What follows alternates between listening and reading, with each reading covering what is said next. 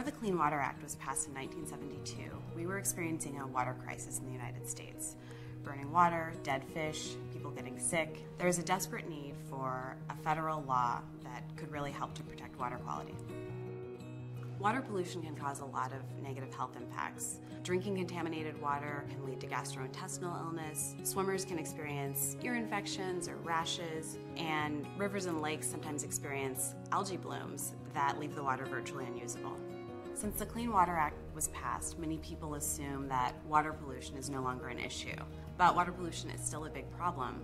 In part, that is because there are gaps in the way that the laws are enforced and also because many of our waterways aren't adequately protected under the original law. The principal weakness in the Clean Water Act is that it does not do a very good job of controlling industrialized agriculture.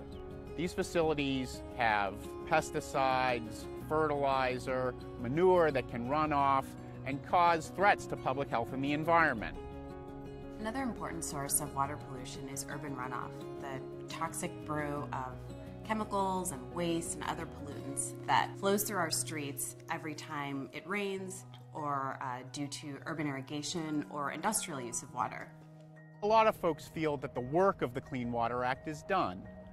In truth, there are over 40,000 water bodies around the country that don't meet standards for things like swimming or fishing or drinking water supply. In addition to our existing water pollution problems, some members of Congress actually want to weaken the law and they will, unless enough Americans stand up and say, we want clean water for ourselves, for our children, and for future generations.